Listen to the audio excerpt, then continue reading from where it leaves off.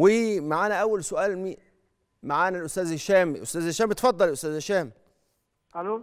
السلام عليكم. اتفضل عليكم السلام. اتفضل يا أستاذ هشام.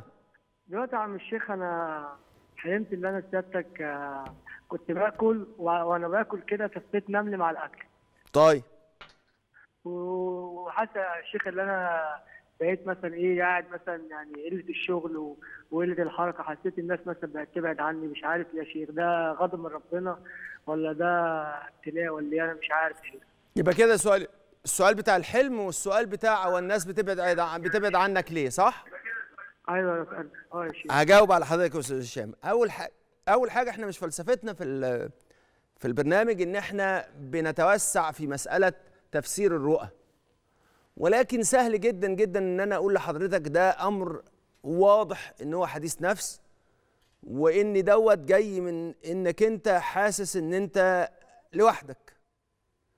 ولكن اللي أنا عايز أقوله لك إن أنت عشان تجد إن الناس ما بتبتعدش عنك أنت فيك حاجة أكيد بتخلي الناس تبتعد عنك. أكتر حاجة بتخلي الناس تبتعد عن الواحد إن الناس تحس إن هو لما يقعدوا معاه يغمهم. أنا عايزك تراجع مسألة إحساسك بالمظلومية.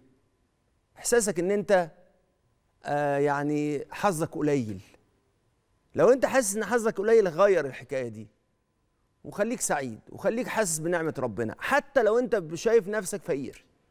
هو على فكرة الفقير دوت أنا آسف يعني في فرق إن الفقير يكون حاسس بالاحتياج وإن الفقير يكون حاسس بإن هو ربنا ناسيه أعوذ بالله. أعوذ بالله من هذا التفكير. في ناس كتيرة جدا جدا لما بتفتقر أو تكون فقيرة يعني وأنا برضو مش قادر أفهم يعني هو إحنا فينا حد غني؟ أه ما, ما, تنزعكوش هو فينا صحيح حد غني؟ ربنا خاطبنا كلنا وقال يا أيها الناس أنتم الفقراء إلى الله. كلنا فقراء محتاجين ربنا. كل الناس محتاجين ربنا. حتى اللي عندهم فلوس كتير مش عارفين يصرفوها فين؟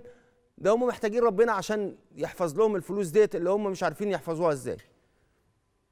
فلو كنت فقير انت ممكن ما يكونش عندك لو بلغة الناس ما عندكش فلوس بس عندك رب. عندك الغني. فخليك عايش حياتك بانك انت عبد الغني عبد الكبير عبد الواسع. فجاهد واجتهد وعيش حياتك بدون تضييق. اللي انت فيه مش نهاية العالم. في رزق من ربنا جاي. وعشان كده انت لازم تفهم ده كويس. خلاص يا سيد هشام